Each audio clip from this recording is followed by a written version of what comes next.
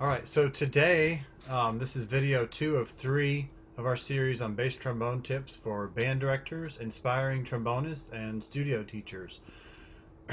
I have uh, Dr. Jemmie Robertson coming back from our general interview with Dr. Casey Thomas, where they both gave great information from their own teaching to their personal performance experiences. Without further ado, Dr. Jemmie Robertson will share his own bass trombone studies and exercises he does in his personal practice and with his students in his studio at the University of Florida. So here is Jemmie Robertson. Hello, everyone. Nice to see you all. And uh, thanks for joining us for this short tutorial, tutorial video. I thought that what we would do today is just do a short play along uh, bass trombone warm up. So what I'm going to do is I'm actually going to begin on my tenor trombone um, with a, a, good introductory mouthpiece to approaching the low register and transitioning to bass trombone and working on that doubling skill. So it's just a, a Bach 2G mouthpiece in, in my uh, Edwards tenor trombone. So a larger mouthpiece than I would typically play um, in my day-to-day -day tenor playing. But when I first began doubling between tenor and bass, this was exactly the combination that I employed. I, I got a 2G mouthpiece, put in my tenor trombone, and got to work on the low register. And that helped me build confidence until I was able to purchase a bass trombone and, and make that uh, transition a little more um, uh, permanent, as it were. So, um, yeah, let's let's go ahead and begin. I'm, I'm going to share a screen here with you, and uh, it, this is a, a, a two octave descending arpeggio exercise. So um, this is largely inspired by uh, my teacher in undergraduate school, Buddy Baker. He has an outstanding method book. It's called the Buddy Baker Tenor Trombone Method. And this kind of riffs on the idea of the first playing exercise in his book, which is simply downward slurs. So I, I, take that idea, I change it up just a little bit and extend it down to two octaves. Then we invert it. We start down on a pedal B flat, in this case in the key B flat major, and we ascend back up. So we're working on taking our great familiar core sound in the mid register and extending it gradually down through the arpeggio, down to the pedal. And then once we're down there, we're working on establishing consistency of sound and consistency of attack, as well as smooth slurs back up through the arpeggio. So it just really extends upon that, uh, expands upon that idea. So um, if you want to go ahead and play along, let's go ahead and, and get our horns ready to go. And uh,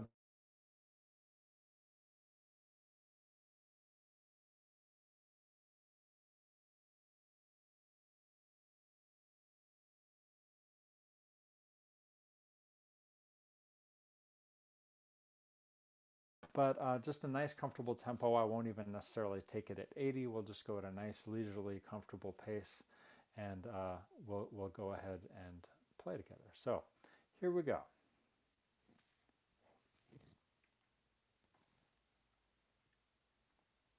One, two, three, four.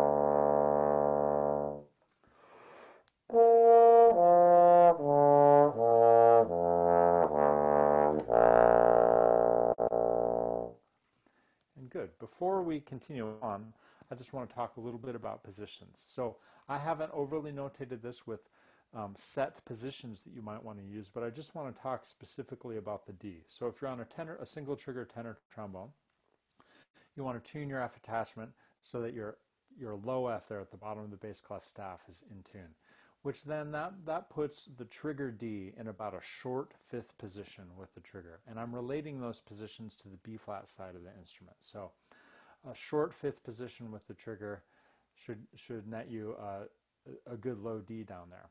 Now, um, when we switch to bass trombone, which I'm going to do right now, gives you another option for that low D. You can of course, tune so that your low trigger D with both triggers is in first position. So that's the way I do it.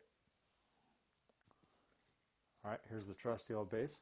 So now we'll continue from measure 13 here from the pedal B flat on up. And what I'll do is I'm going to alternate between using uh, D and single trigger, short fifth position, and uh, double trigger first position. So I might just like change it up uh, with each of these ascending arpeggios. And feel free to do the same too. I think you want to be able to use both positions interchangeably and be equally comfortable with both. And that's one of the main adjustments here in switching from a single trigger to a double trigger instrument, is getting comfortable with those different combinations. So here we go. From measure 13. One, two, three.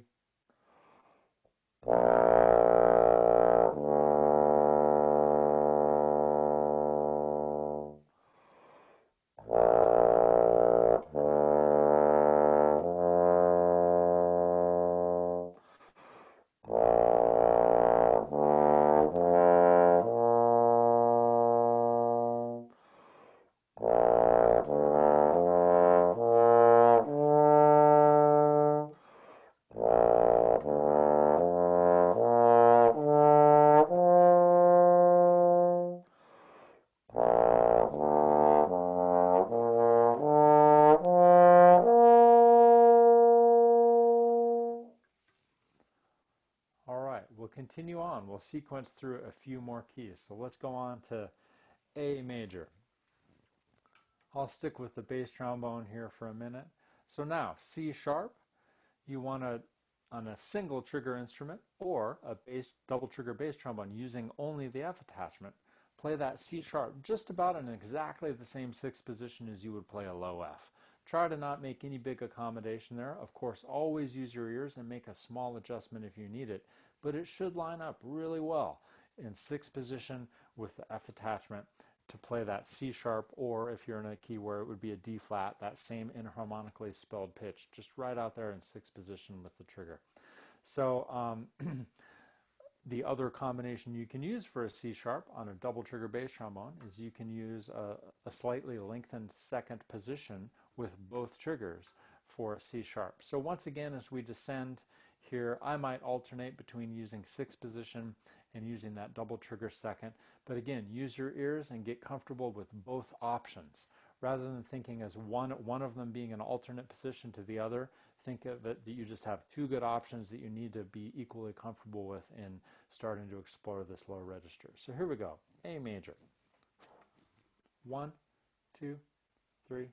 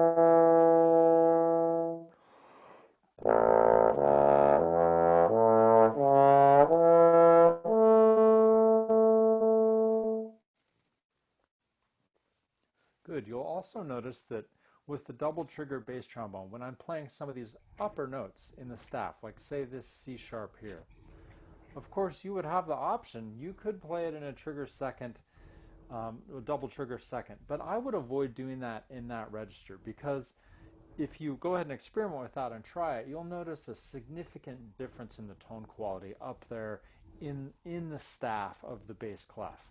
When you use um, the double trigger combination up in the staff, it doesn't yield quite the same um, resonant tone quality, but it's it's very nice and pleasant down in, in the low trigger register below the staff. So I would use generally use your double trigger combinations only in the low register below the bass uh, clef staff rather than using it as a position option up in the staff. It would give you endless options, but all of them would be of somewhat compromised tone quality in the staff, in my opinion. Though there are some exceptions we can talk about, especially on the single trigger side. Like say, for example, instead of B flat and first, using B flat and three and a half quite a lot, or you know A and a short fifth. Th- those can be nice, but in terms of using the double trigger combination in the staff, it's it's a quite different tone quality.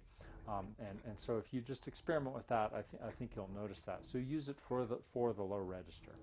All right, let's go on to A flat. And just for fun, I'm going to switch back to tenor trombone just to sort of illustrate that again, building um, confidence down into the low register. Um, you can do that quite effectively on a tenor trombone. You don't necessarily to be need to be holding a bass trombone to play in the bass trombone uh, register down there or to get a nice big rich resonant sound. So use doubling on bass trombone and getting comfortable on the bass to help you open up your sound and register um, down low register on the tenor trombone. And then vice versa, having facility on a bass trombone can really help you efficiently use air, taking great breaths, using a, a, a, nice relaxed wind flow can transfer over very nicely back to tenor. So I find that doubling between tenor and bass is really mutually reinforces some positive things in my playing. It wasn't all that way, uh, always that way. When I first made the switch, it, it it, it was kind of disorienting for me. So it does take some adjusting. But if you really work on shoring up your fundamentals and approach it from the right mindset, there are aspects of each instrument which can really nicely benefit the other, and it's a really complementary double. Hey, Jamie, Right. I've yes, got one sir. question before we move on.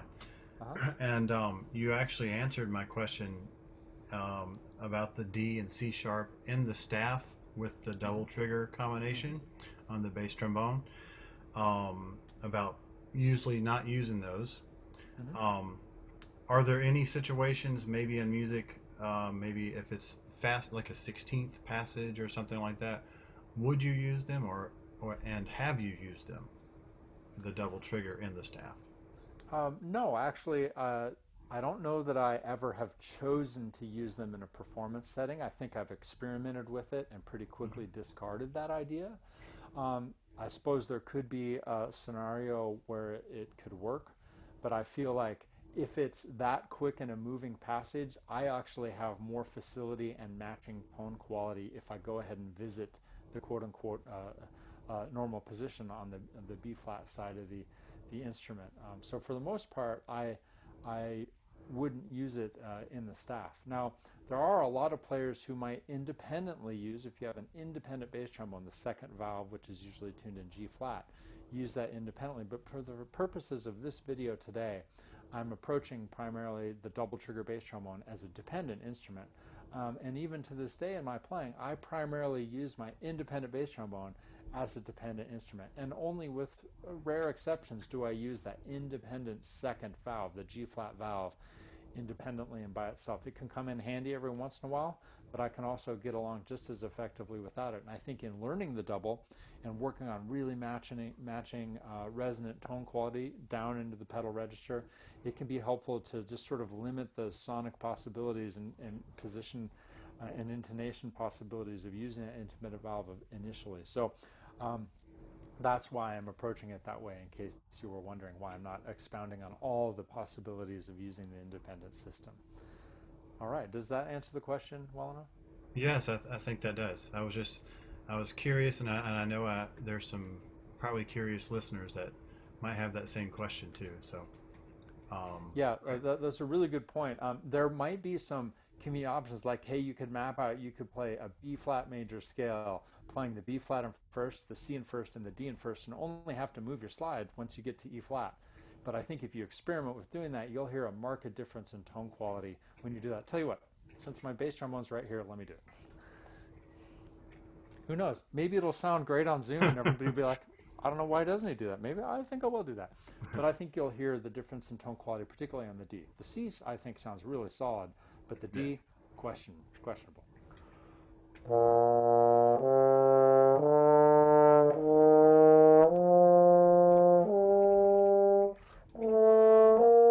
I even used A in first position with the trigger. Again, I would never probably do that in performance, but um, just to sort of illustrate that having the valves doesn't mean necessarily that we should always use them up in, in the upper register. They can come in handy for in, in maybe some special extended technique circumstances or maybe even for some trills. There are, there are some advantages of having them there uh, and, and utilizing them occasionally, but I wouldn't necessarily use them uh, as a default setting up in that register. I would use them with caution and only rarely. So let's continue on down to A flat. And my goal with this warm up today is to get us on down to the pedal F. After that, you're on your own. All right, here we go. A flat. One, two, three, four.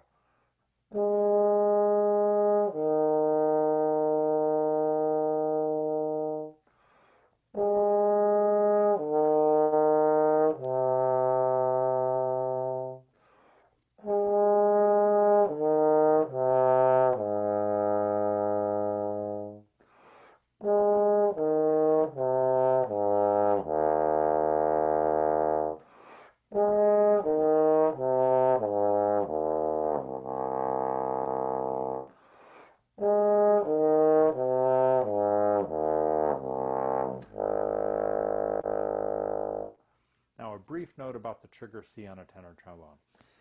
To really get it in tune on a tenor trombone, you probably have to adjust the F attachment tuning slide a little bit, or be in a really long seventh position, and even then, if you're being really honest with the tuner, you probably have to lip it down a little bit. So in in a in a positioning chart, it might tell you you have that C down there in seventh, and you do, but you're probably lipping it just a little bit. So just just know that that it's as long as far out there as you can comfortably reach in seventh position to play that trigger C on a single trigger combination, or whether it's on tenor or bass. So playing it on the double trigger bass trombone in in um, three and a half fourth position or so. Use your ears again to exactly place that where you need it um, uh, gives you maybe a little more security of pitch.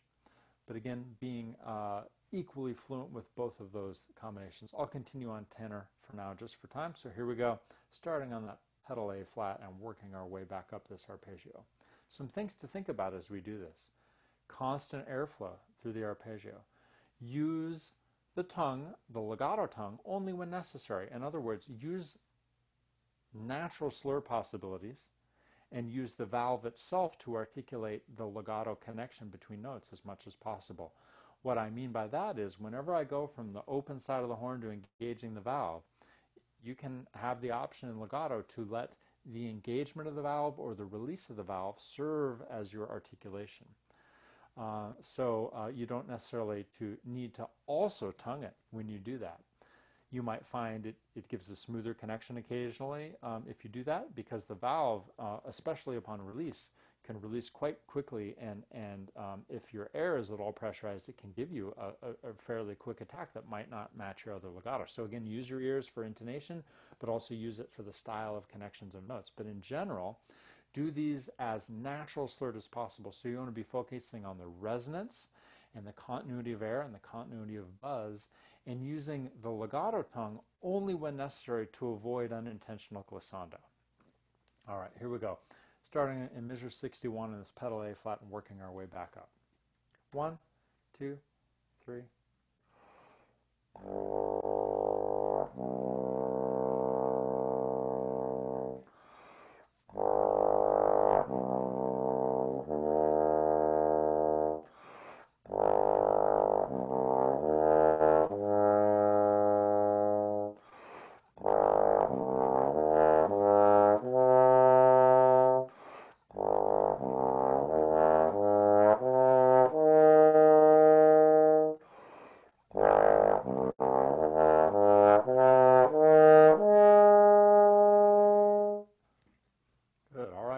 G major.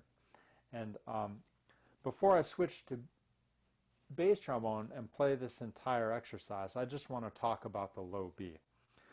As a tenor trombone player, this note is not um, technically speaking, um, uh, on our slide with the trigger combination, but it can be accessible if you lip it down a half step. So I'll just play this last arpeggio here beginning in the 6-2 measure. I'll play it quite slowly and I'll lip down to that B on the tenor trombone.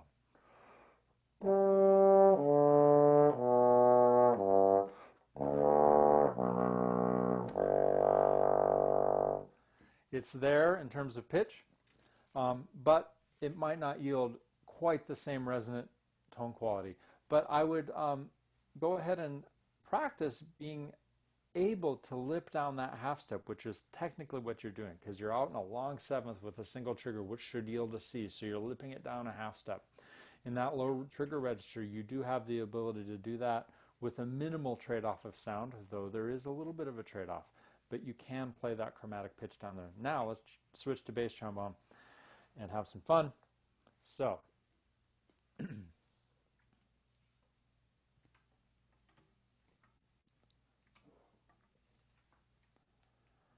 all right. So, um, we'll play down this arpeggio using the bass trombone. Here we go. G major. One, two, ready.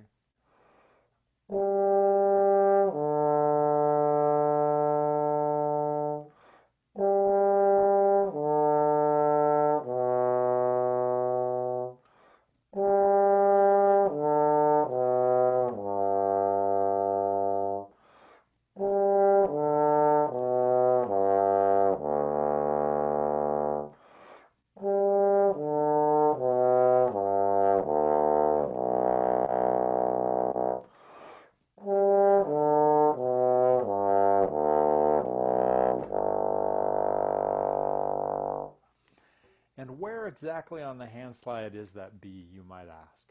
You can, of course, look it up uh, in any sort of positioning or fingering chart, positioning chart, let's call it. If we're talking about fingering charts, we're talking about but lazy button pushers.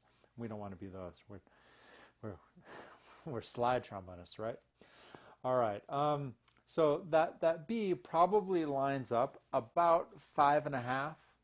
You could maybe conceptualize it as a short sixth um, but uh, with both triggers down. So you'll probably be sharp if you think of it as a fifth position with both triggers, and you'll probably be flat if you put it in sixth position with both triggers. But again, you need to use your ears. But here's where you have to be cautious.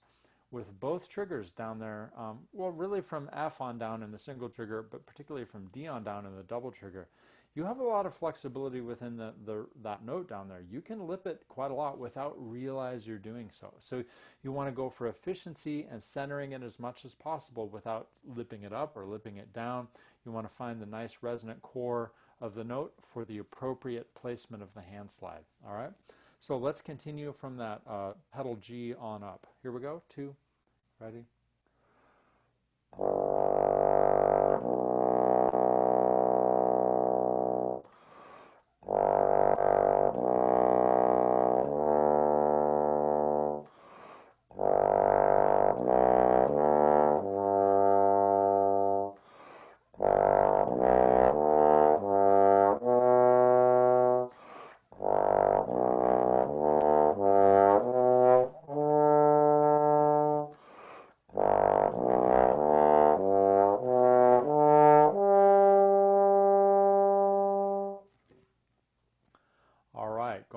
G flat major. Now, for the pedal B flat, on a double trigger bass trombone, you actually have two options. You can, of course, play the pedal B flat in an open first position, um, but you also would have the option of playing the pedal B flat out in seventh position with both triggers.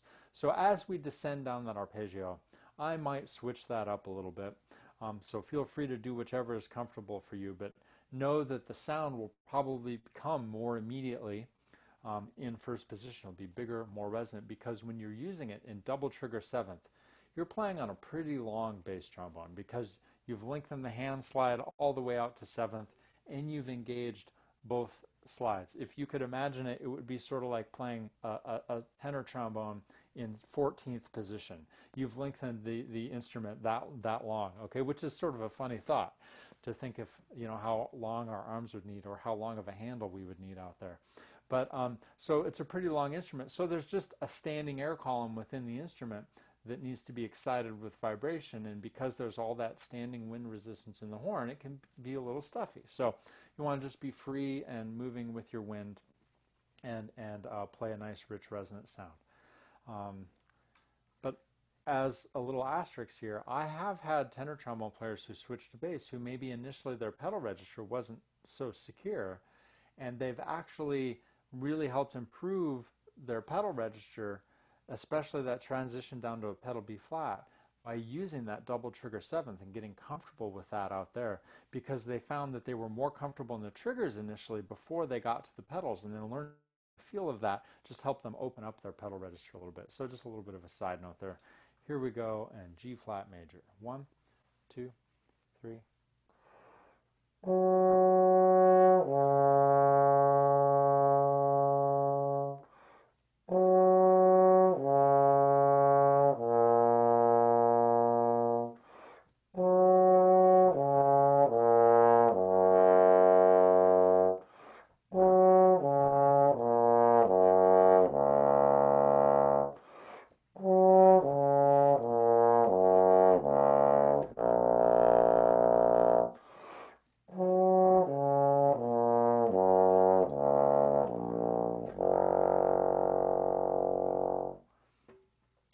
Notice on that last arpeggio I snuck in the double trigger seventh.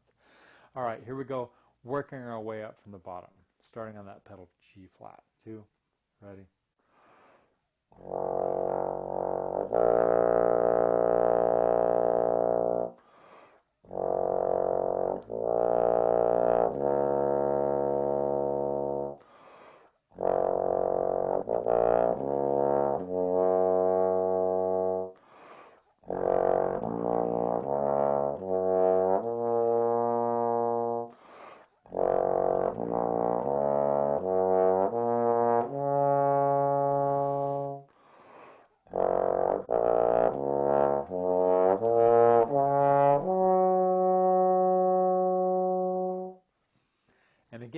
Knowing some of your optional position or alternate position possibilities, using D flat in a long trigger 2 or D flat in 6th, using pedal B flat or in 1st or in 7th with both triggers an option, and also in the staff on this B flat, being able to access that uh, alternate position B flat in, in about three and a half with the single trigger. So, all right, I believe we have arrived here at our last key. We'll do, we'll do F and, uh, and, and, and call it a day from there and proceed on to, to your, the rest of your warm-up after this. And uh, this exercise is a really standard part of my daily routine. I was a student of Buddy Baker's in undergraduate school, and uh, I've gradually adapted a lot of his exercises uh, for my own playing routine. And I find it really refreshing to warm up and connect sound across two octaves like this. And on a daily basis, I play on my tenor trombone down as low as I can go, um, as low as I'm resonating sound. And on bass trombone, I think it's really handy to start here in the middle middle register and work on connecting your great core mid-register sound right on down into the pedal range rather than simply getting out a bass trombone and just going for those pedal notes and dropping sort of depth charge sounds like down in the pedal register. There's there's certainly call for that in the repertoire, and there's a place for working on the immediacy of sound and response and consistency down there like that. But for me, I really prefer bridging the sound and connecting the sound across the octaves before I, I, I spend a lot of time just like landing on those pedals, um, just sort of out of the blue. So here we go. F major. We'll have some fun. I'm going to alternate between using F and trigger first, the pedal F and trigger first, or F and sixth.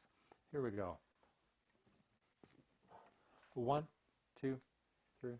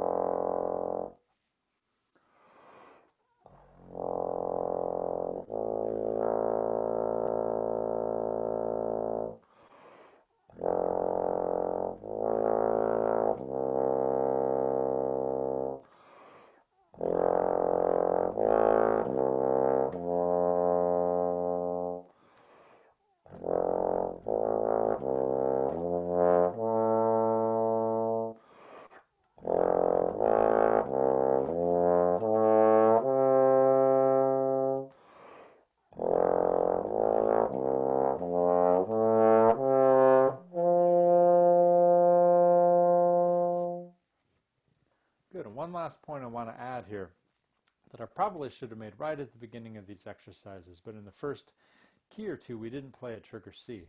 So it kind of slipped off my radar screen. But I would say regarding intonation on this C in the staff, like measure 121, you need to adjust the hand slide out a little bit for that. So tune your trigger so that this low F, this one right here, is in tune in first. But if you leave the hand slide all the way in and play a C in the staff, that's quite sharp. That's not a perfect fifth. It's a slightly um, augmented imperfect fifth.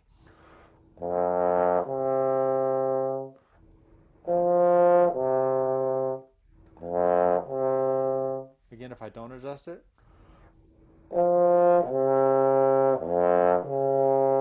you can hear the ripeness of the sound, the brightness. That color is a little distracting. So take care that you're not positioning all the way in and lipping it down. Let me do that. So I think the pitch evened out, but the color became slightly muffled and muted because I was lipping it down maybe a quarter of a fifth of a tone to get it in tune.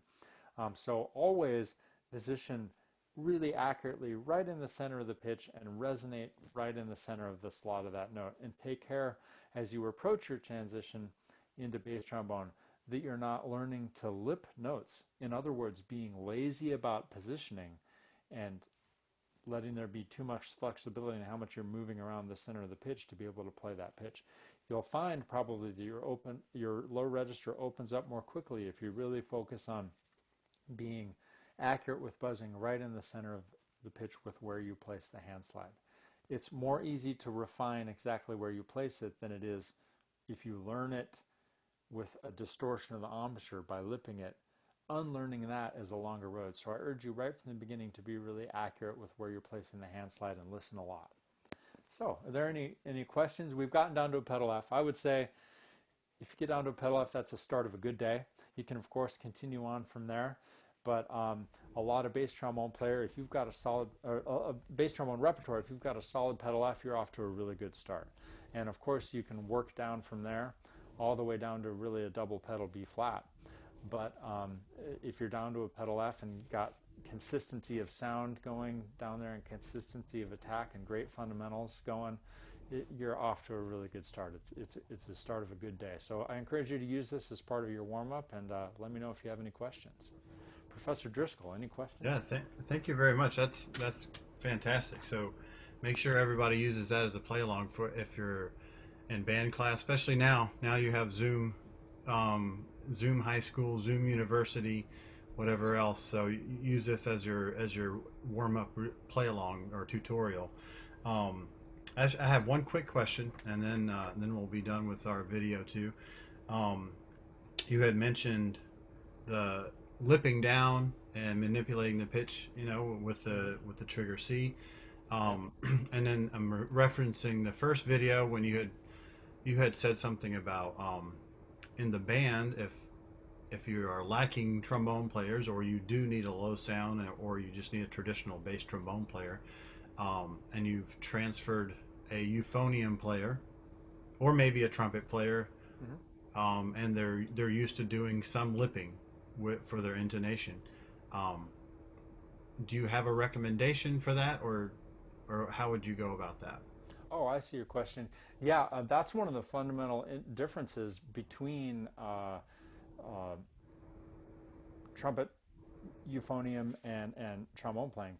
Uh, because uh, as and I'll make the connection most directly between euphonium because in euphonium, uh, it's really kind of standard practice. Like you have to have that ability to lip around the pitch, especially when you you get up, up above the staff in the sixth partial, seventh partial, etc. Et they're bending notes into place all the time, and the instrument is very forgiving of that because it has that nice open conical bore, and it gives you a lot of flexibility in, in the sound there. So I would just urge you, if you are switching to uh, bass trombone from a valve instrument, particularly euphonium or perhaps tuba that, that you are, are um, really diligent about um, making sure that your slide position is accurate. And it can be tough to kind of uh, wade through that. But one thing I would just sort of equip you with is just maybe an example here.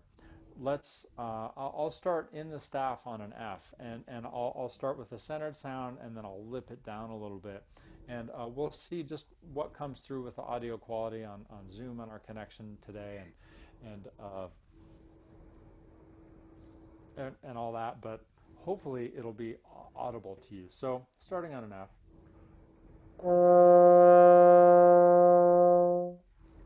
Kind of centered sound. Now notice I'm tuned my B flat trombone, so B flat isn't tuned. So when I play that F in the staff, because it's the third partial of a trombone, without really telling you, I'm out just a little bit. I, am not all the way in first position because the third partial of a B flat F tenor trombone or a B flat F, G flat, D bass trombone, that third partial on the B flat side of the horn is a little bit sharp.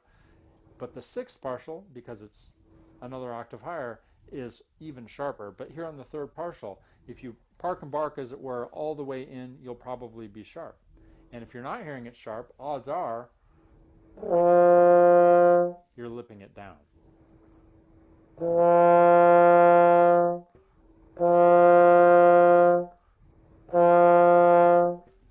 You hear much in the difference pitch level because what I'm trying to do is position sharp but play in tune.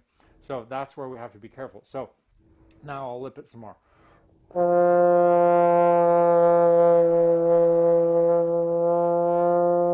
Then I bend it back up to pitch. Now I'll start relatively slotted in the note and I'll bend it high.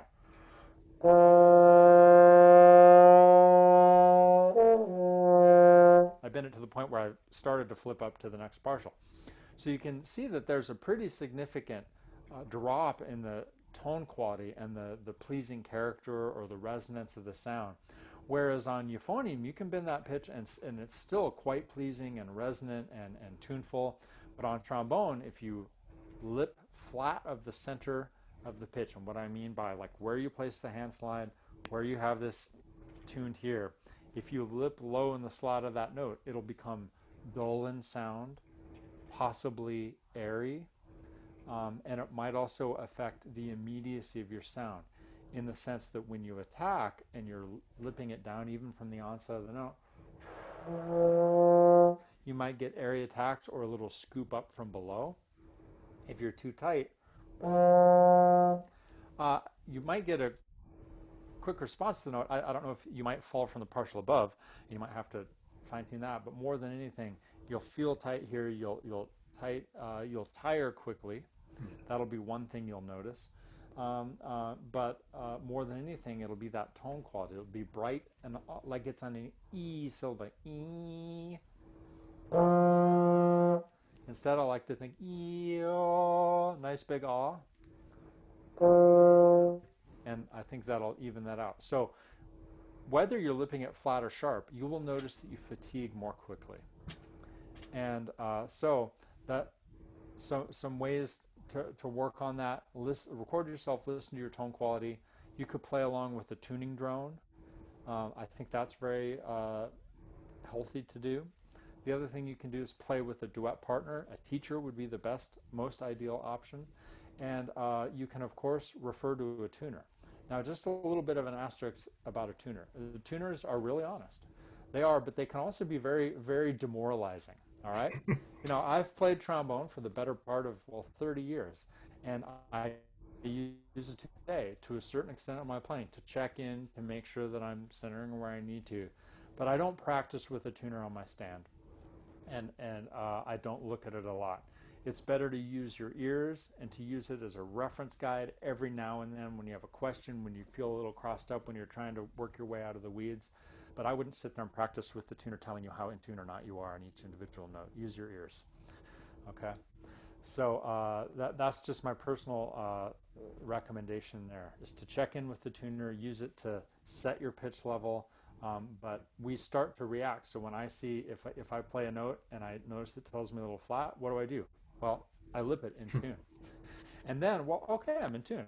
Well, what I actually did was I subconsciously adjusted it to make it in tune without adjusting my hand slide where I need. And uh, we, we can tend to do that as we play through passages, and that's what really tires us out. So uh, I, I, would, I would really just let your ear guide you, and also check in with your your stress level in terms of your armature, how quickly you're fatiguing. If you notice you're playing uh, just a nice, comfortable dynamic, but you're still fatiguing quickly, you could find that you're really lipping stuff around a lot. Yeah, that's very good. um, all right. Well, I guess that's all the questions I have, and uh, I want to thank you to Dr. Jemmie Robertson here, um, helping out with video two, um, and we will probably in another week we will have video three coming, right. and uh, Dr. Uh, Casey Thomas will come back and visit us, and he'll probably he's going to have some more information about his uh, double valve and all his valve um, uh, notations and then a few exercises of his own. So um, I appreciate everybody listening and share with your band directing friends and who whoever else you might think uh, can get something from this video. So. Uh, all right. Well, thanks everyone. Appreciate it, and thank you.